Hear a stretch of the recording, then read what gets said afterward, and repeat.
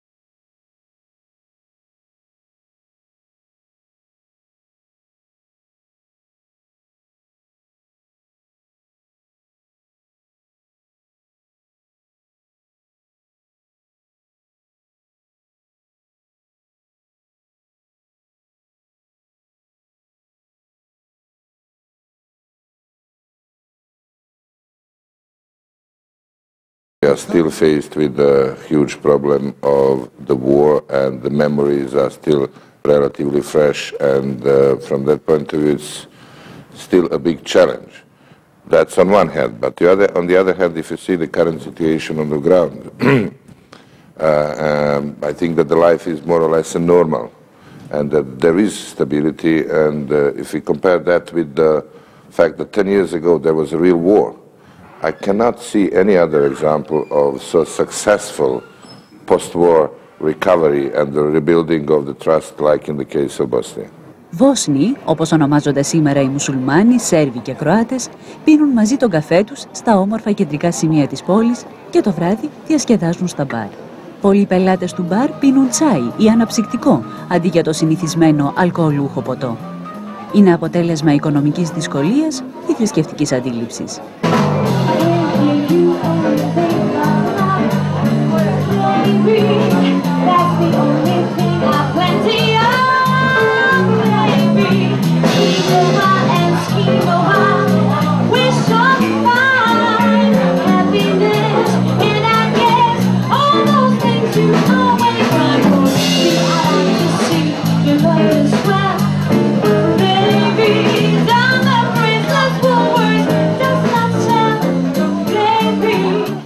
Κύλησε όμως πολύ νερό στις όχθες του μικρού ποταμού Μιλιάκα μέχρι να φτάσουμε ακόμα και ως εδώ.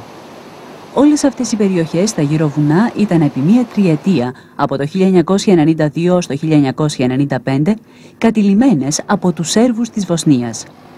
Επισήμως η κυρίως Σερβία δεν έπαιρνε μέρος στον πόλεμο και τον αποκλεισμό του Σεράγιαβο άφησε το θλιβερό προνόμιο στους ομοεθνείς της Σέρβους της Βοσνίας που είχαν πολιτικό ηγέτη το Ράντοβαν Κάρατζιτς και στρατιωτικό τον Ράτκο Μπλάντιτς.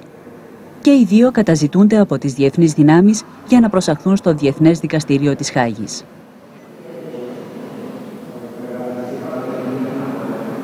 Σήμερα όλες οι χώρες της πρώην Ιουκοσλαβίας προσβλέπουν στην Ευρωπαϊκή Ένωση. Η Σλοβενία έγινε ήδη μέλος η Κροατία, έχοντας ισχυρότερους συμμάχους στην Ευρωπαϊκή Ένωση, θα αρχίσει ενταξιακές συνομιλίες. Η Σερβία αποφασίστηκε να αρχίσει διαπραγματεύσεις για την υπογραφή συμφώνου σταθεροποίησης και σύνδεσης. Το ίδιο αποφασίστηκε και για τη Βοσνία Ερζεγοβίνη. I already said that I believe that it's time for the international community to close its mandate here in Bosnia. Uh, we have, we have. Uh, I thought uh, before that the 10th anniversary of Dayton was a good uh, chance to simply to change the mandate of the international presence here in uh, Bosnia.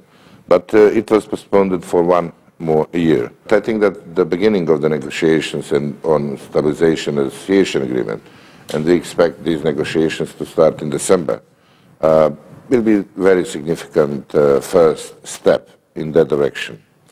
Uh, for me, I would be happy if Bosnia would be a member somewhere around the 2012-2015.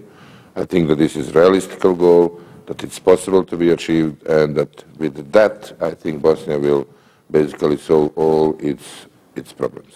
Πέρα από το πρόσφατο σοσιαλιστικό της παρελθόν, η Βοσνία Ερζογοβίνη έχει στην ιστορία της δύο μεγάλες περιόδους. Την Οθωμανική και την Αυστρο-Ουγγρική. Τα σημάδια και από τις δύο αυτές περιόδους είναι έντονα στο Σεράγεβο. Η Βοσνία κατελήφθη το 1463 από τον Φατίχ Σουλτάν Μεχμέτ. Στο σημείο που βρίσκεται σήμερα αυτό το τζαμί, το οποίο ονομάζεται τζαμί του αυτοκράτορα, υπήρχε ένα άλλο, το οποίο κατασκευάστηκε το 1457 από τον Ισά Μπέκ Σάκοβιτς. Το έκανε δώρο στο Σουλτάνο που κατέλαβε τη Βοσνία. Πίσω από το τζαμί υπήρχε μία αυλή, ένα σεράι, από την οποία πήρε και το όνομά της η πόλη.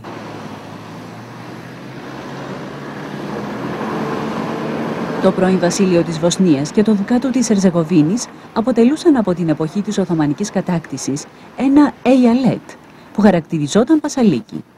Ο κυβερνήτης τους Βεζίρης με τρεις αλογοβρές έμενε από το 1851 στο Σεράγεβο. Το Σεράγεβο είναι η παλιά μεσαιωνική πόλη Μπρόντσνα, που έγινε Μπόσνα Σαράι, δηλαδή το παλάτι της Βοσνίας. Η χωρική της Βοσνίας είναι η πιο καταπιεσμένη και η πιο φτωχή των Βαλκανίων. Η ιστορία του Πασαλικιού σημαδεύτηκε στη διάρκεια των αιώνων από άγριες ταραχές που τις ακολουθούσαν αμήλικτες εκαθαρίσεις. Μετά το 1683 προσθέθηκαν και οι επιδρομές των στρατευμάτων των Αψβούργων. Οι μουσουλμάνοι επικρατούσαν στις πόλεις. Οι Αρθόδοξοι ήταν πιο πολυάριθμοι στα ανατολικά και οι Καθολικοί στα δυτικά. Αυτοί οι πληθυσμοί ήταν όλοι τους Σλαβικοί και ζούσαν σε ένα κλίμα λανθάνουσας έντασης που επιδεινώθηκε το 19ο αιώνα με τις μεταρρυθμιστικές απόπειρες των Σουλτάνων. Στη Βοσνία Ριζεγοβίνη, που είχε διαβρωθεί από την αίρεση των Βογομήλων, παρατηρήθηκαν μαζικές προσελεύσεις στο Ισλάμ. Ολόκληρα χωριά πέρασαν το φράγμα της πίστης τη στιγμή της κατάκτησης. Οι Βογόμιλοι φεουδάρχες αυθόρμητα μπήκαν στην υπηρεσία του Σουλτάνου και κράτησαν έτσι τα εδάφη τους. Η Βοσνία Ριζεγοβίνη αποτελούσε επίμονο στόχο κατάκτησης από την Αυστρο-Ουγγαρία που τελικά την προσάρτησε το 1908. Σέρβοι και Κροάτες αντέδρασαν και έτσι ενώ ο διοικητής του στρατού διατήρησε τον έλεγχο των εδαφών, η πολιτική διοίκηση ανατέθηκε στον Ούγκρο Βενιαμίν Φον Καλέ που γνώριζε καλά τα Βαλκάνια. Η πιο σοβαρή αποτυχία του Καλέ ήταν η πολιτική του σχετικά με τις εθνότητες. Όταν αργότερα, κυρίως μετά το 1882, Σέρβοι και Κροάτες ήρθαν σε έντονη αντίθεση σχετικά με την επιρροή τους στα βοσνιακά εδάφη, ο Καλέ για να αποφύγει την απειλή έκρηξης τέθηκε επικεφαλής μιας προσπάθειας προώθησης της συνειδητοποίησης μιας ειδικής βοσνιακής εθνότητας. Οι Σέρβοι της Βοσνίας ανέπτυξαν έντονο εθνικιστικό κίνημα, ενώ από πλευράς καθολικών Κροατών ο γιατρός Γιώζιπ Στάντλερ, ο οποίος έγινε αρχιεπίσκοπος του Σεράγεβο, έπαιξε καθοριστικό ρόλο στην προώθηση της ιδέας της Μεγάλης Κροατίας. Σήμερα, ο τάφος του βρίσκεται μέσα στον καθολικό ναό του Σεράγεβο.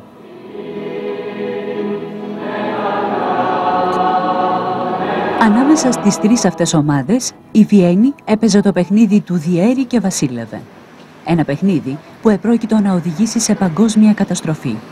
Οι πυροβολισμοί του Σέρβου φοιτητή Γκαβρίλο Πρίντσιπ στο Σεράγεβο στις 28 Ιουνίου του 1914, με τους οποίους δολοφόνησε τον αρχιδούκα του Αυστριακού θρόνου Φραγκίσκο Φερθινάρδο και την σύζυγό του Σοφία, εγγράφονταν μέσα στο πλαίσιο εξέλιξης ενός κινήματος που δεν του είχαν δώσει μεγάλη σημασία οι δυνάμεις της Δύσης.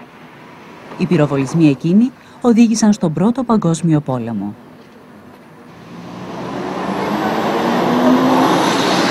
Το 1918, μετά τον Πρώτο Παγκόσμιο Πόλεμο, ιδρύθηκε η πρώτη Ιουγκοσλαβία ως βασίλειος Σέρβων, Κροατών και Σλοβαίνων. Και μετά το Δεύτερο Πόλεμο κυριάρχησε η μορφή του παρτιζάνου Γιώζιπ Μπρος Τίτο, ο οποίος ίδρυσε τη Δεύτερη Ιουγκοσλαβία. Αυτή, που άντεξε ουσιαστικά ως το θάνατό του το 1980, και άρχισαν να διαλύουν η διάδοχή του, στην αρχή σταδιακά και στη συνέχεια μετά το 1990 με αφάνταστη βιαιότητα.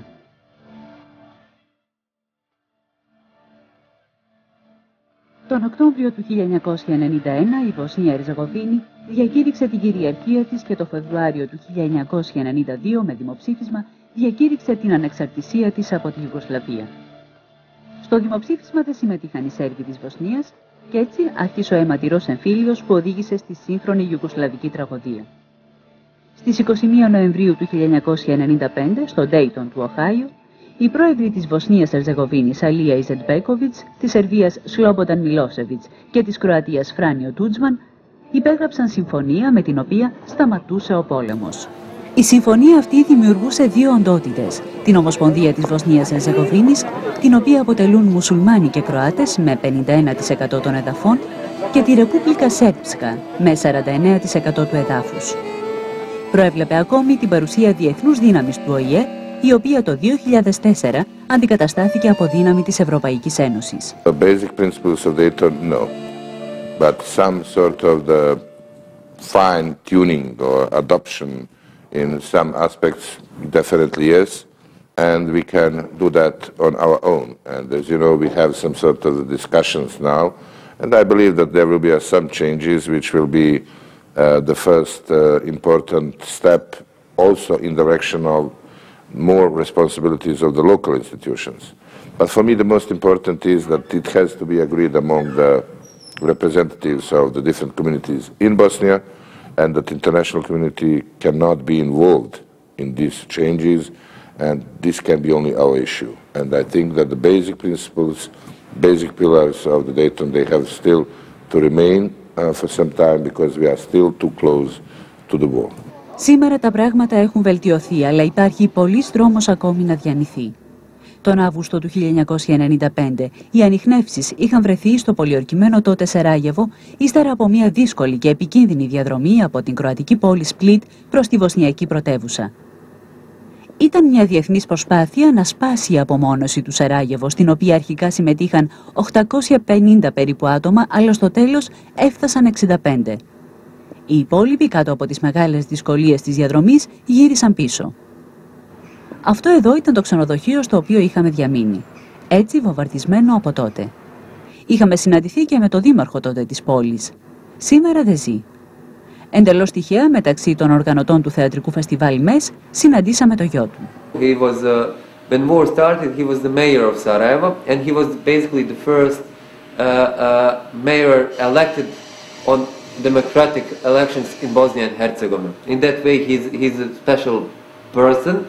Uh, I remember he was the mayor who, who always used to say, because war started immediately after he became a mayor, and I remember that his favorite sentence was, uh, I will be remembered as the mayor. Το τελευταίο 15μέρο του Οκτωβρίου στο Σαράγεβο πραγματοποιήθηκε ένα ενδιαφέρον φεστιβάλ θεάτρου. Για πρώτη φορά συμμετείχε και Θίασος από το Βελιγράδι. Η ρουμανική θεατρική αντιπροσωπεία έπαιξε την Ηλέκτρα.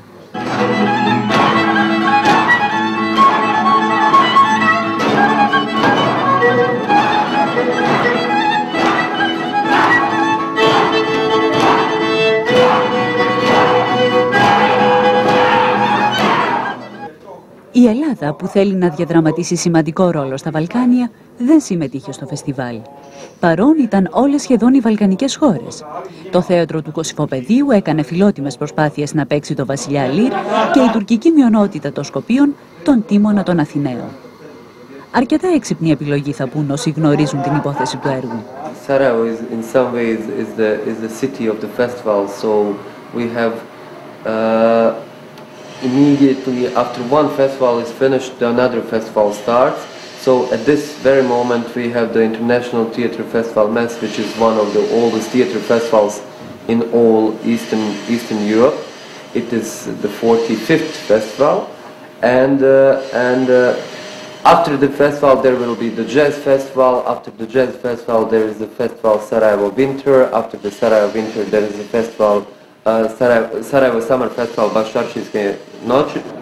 Ένα ανάλογο φεστιβάλ βαλκανικών θεατρικών σκηνών θα μπορούσε να αναλάβει ως πρωτοβουλία και το Κρατικό Θέατρο Βορείου Ελλάδος. Ο θεατρικός κριτικός Σπύρος Παγιατάκης ήταν η μόνη ελληνική παρουσία στο φεστιβάλ.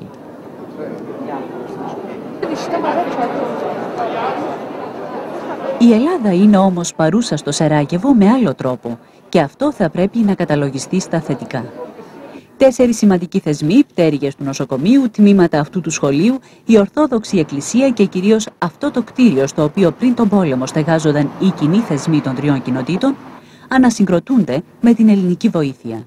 We were very happy that and lucky that Greek government accepted to, to invest uh, in the health sector. And they chose this hospital uh, because it was uh, the, among the most destroyed hospital in Bosnia and Herzegovina. That was the reason because Greek government was, was to, to support in full capacity to reconstruct hospital uh, from the bottom to the, to the uh, uh, roof. And I, I want to uh, thank again uh, for the all appreciation which uh, happened in the 1996 to the 1998 when we, through the two stages, completed all uh, reconstruction of all physical damages which happens in the period between 1992 and 1995.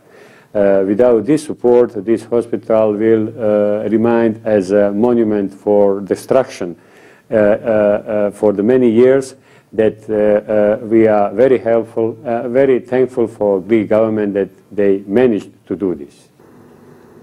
Ελληνική παρουσία όμως υπάρχει και με άλλο τρόπο. Στο Σεράγεβο λειτουργεί και ελληνικό πολιτιστικό κέντρο, στο οποίο διδάσκεται και η ελληνική γλώσσα. Λέγομαι Τατιάνα Ζόριτς και είμαι δασκάλα της ελληνικής γλώσσας στο, σχο- στο Σχολείο Διδασκαλίας Ελληνικής Γλώσσας του Σαράγεβο, το οποίο λειτουργεί εδώ και μερι- πέντε χρόνια περίπου. Ε, το αντίστοιχο σχολείο, όπως είναι το δικό μας εδώ, υπάρχει και στη Βανιαλούκα, ε, αλλά είμαι καθηγήτρια αυτό το σχολείο εδώ.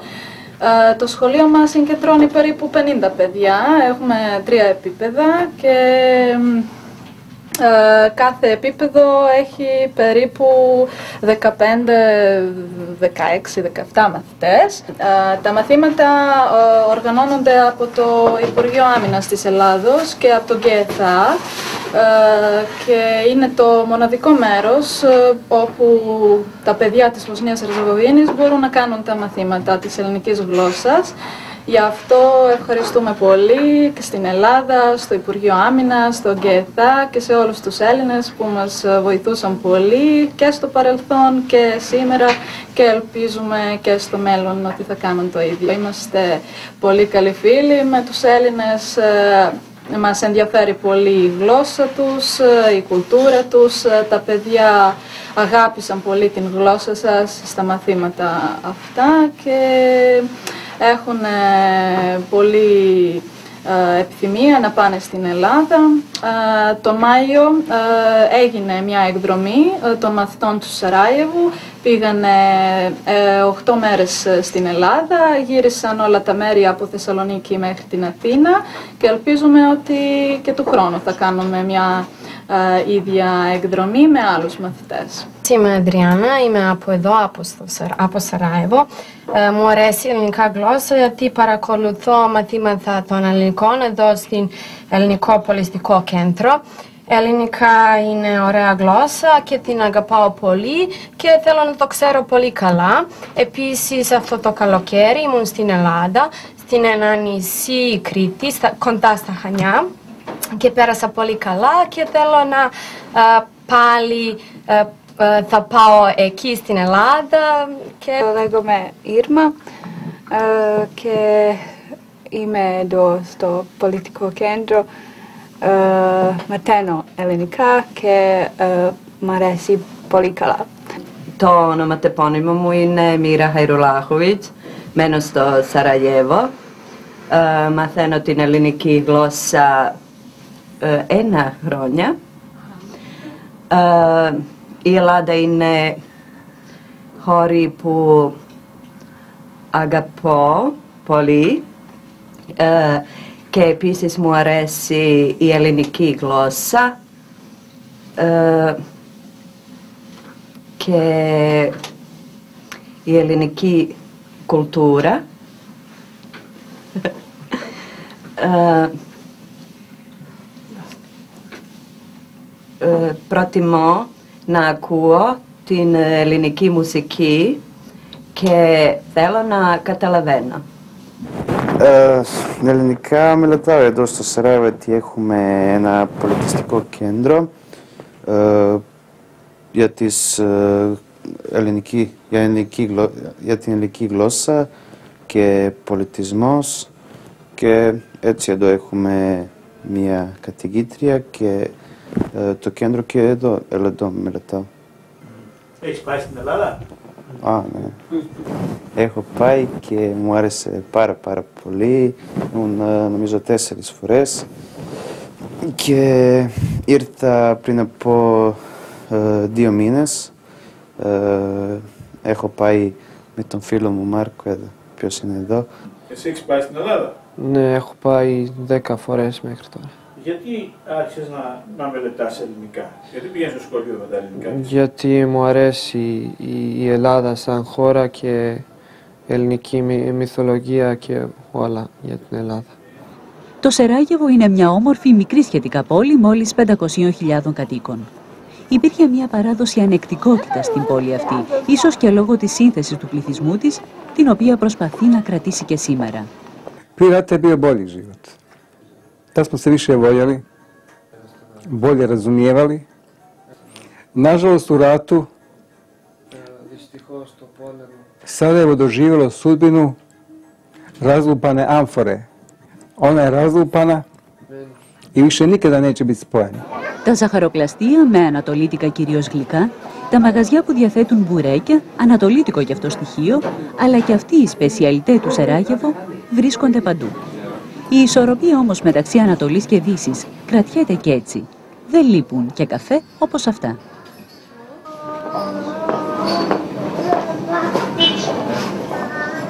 Οι αρχές της πόλης φρόντισαν να κρατήσουν την ιστορική και αρχιτεκτονική της παράδοση και στις δύο κυρίως ιστορικές εκδοχές της, την Οθωμανική και την Αυστρο-Ουγγρική. Αυτό εδώ ήταν ένα χάνι το οποίο καλοδιατηρείται σήμερα με τη μορφή ενός μικρού εμπορικού κέντρου και γραφείων.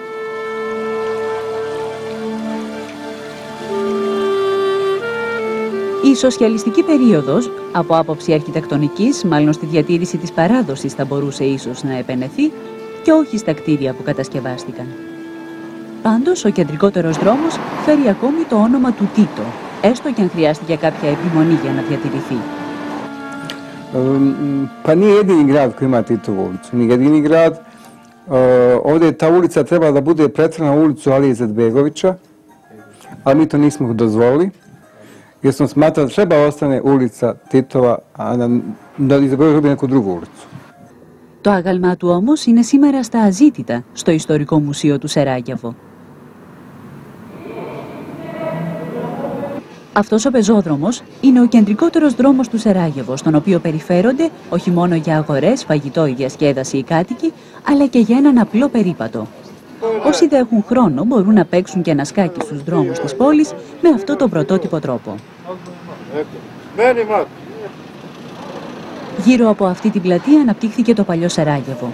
Αυτό δε που βλέπουμε, το οποίο λειτουργεί και ως βρύση για πόσιμο νερό και ως περιστερώνας, είναι το σύμβολο του Σεράγεβο, όπως για τη Θεσσαλονίκη ο Λευκός Πύργος.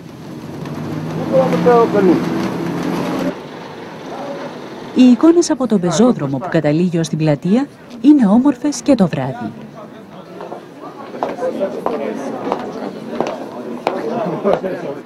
Το Σεράγεβο διαθέτει Εθνικό Αρχαιολογικό Μουσείο, στο οποίο χρειάζεται ακόμη πολλή δουλειά από τους αρχαιολόγους. Διαθέτει επίσης και Εθνική Πινακοθήκη, στη βάση της οποίας στεγάζεται ένα πολύ όμορφο μπαρ και μικρό βιβλιοπωλείο. I bosniaci leggono i libri tradizionali, classici, che sono quelli della Bosnia, che è Ivo Andrić, Il Ponte su Adrina, Mesha Selimovic, Uh, poi ci sono i nuovi autori, scrittori contemporanei che sono uh, Alexander Hemon, uh, Milenko Jergovic, che sono tra l'altro scrittori che sono tradotti sia in italiano che in molte altre lingue. Per quanto riguarda il, la lettura questa qua contemporanea, ovviamente leggono il codice di Leonardo di Da Vinci Στο βιβλιοπωλείο υπάρχει και ελληνική παρουσία με τον Αντώνη Σουρούνη. Υπάρχει πολύ εμφανής και τουρκική παρουσία στο Σαράγεβο, αφού τουρκική τράπεζα, τουρκικές αερογραμμές και τουριστικά πρακτορία που διαφημίζουν επίσκεψη στην Κωνσταντινούπολη με 119 ευρώ βρίσκονται στα κεντρικότερα σημεία της πόλης. Οι τρεις μεγάλες μονοθεϊστικές θρησκείες, ο μουσουλμανισμός, ο Ιουδαϊσμός και ο χριστιανισμός, είναι επίσης παρούσες στο Σεράγεβο.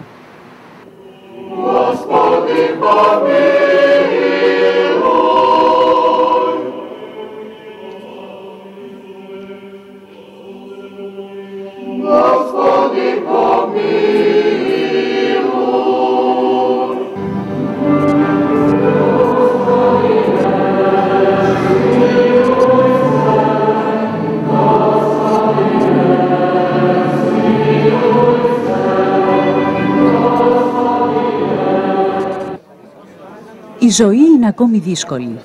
Όπως όλες τις πρώην σοσιαλιστικές χώρες, έχει διαμορφωθεί και εδώ μια νεόπουλτη τάξη που μαζί με τους ξένους έδιναν κίνηση σε αυτά τα μαγαζιά στα οποία οι τιμές είναι ευρωπαϊκές.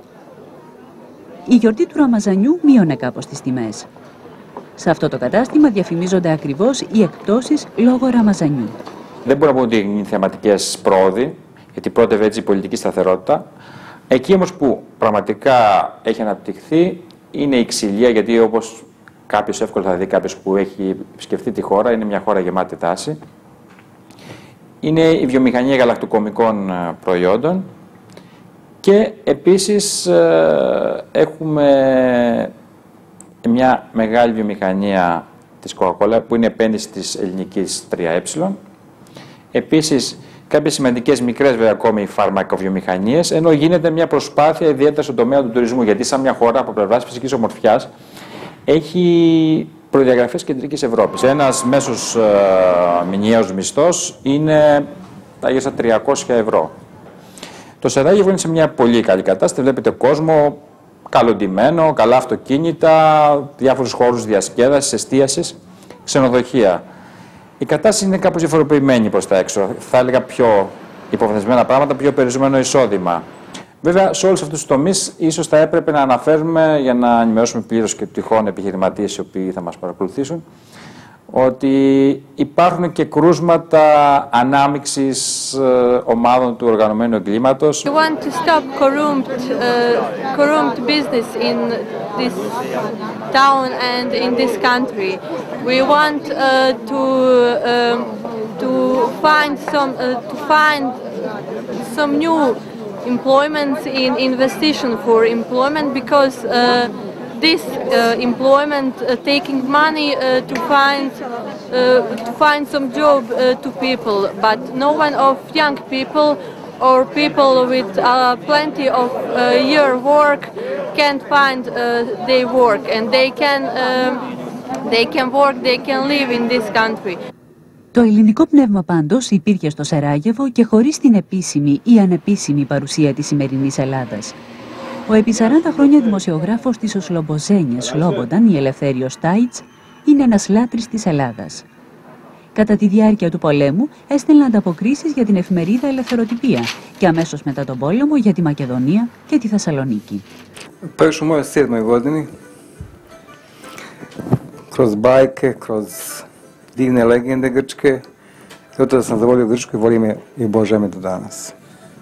Pa to je predivna zemlja koja je dala kulturu Evropi. Da bi tokom rata postao jedan izvještaj za elektrotipiju, nekad sam morao pješće da prođem 7 km u jednom pravcu i 7 u drugom pravcu. E, morao sam proći, na primjer, pored 16 mjesta gdje gađa snajper. Jedan put sam trebao da budem ubijen zato što sam nosio grčku majicu. Jedan put sam nosio majicu na kojoj je pisalo Elas. Jedan čovjek me zaustavio na glavnoj ulici, Titove ulici i htio me ubiti. Srećom naišli su drugi ljudi pa se to nije dogodilo. Tokom rata jedno vrijeme, u ovom dijelu koji je bio, koji kontrolisala muslimanska strana, bila zabranjena grčka muzika. Međutim, ja sam i tada puštao grčku muziku, posebno Grka Zorbu e Marina cura.